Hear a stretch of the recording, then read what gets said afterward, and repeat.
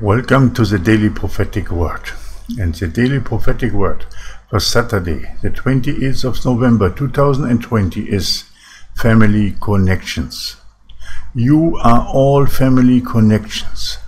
As the body of my son Jesus, you are co-heirs to the throne and my sons and daughters, my family connections.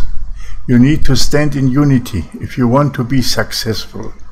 Only a united remnant army of kings and priests will be able to stand against the enemy and his forces.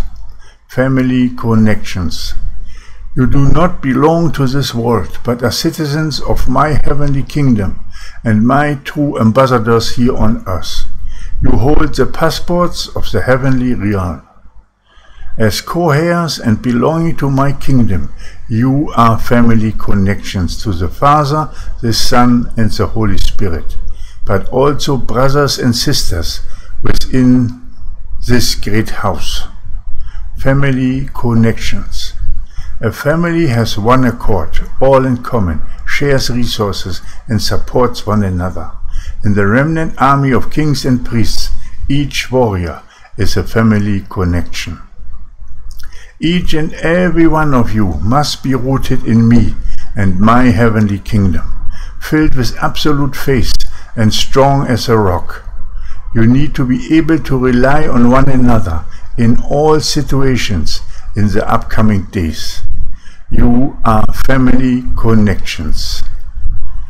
And this was a daily prophetic word given by the Holy Spirit for Saturday, the 28th of November 2020. Brothers and sisters, as soon as you understand that you belong to the kingdom of heaven and you step out for this kingdom, then you become a huge family.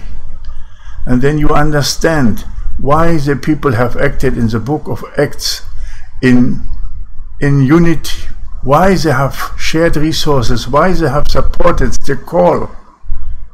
Because they understood that now everything has changed and they belong to the kingdom, to something much higher than this world. Now let us all step forward into the kingdom, because the kingdom has come. You have prayed over it, and now it is here.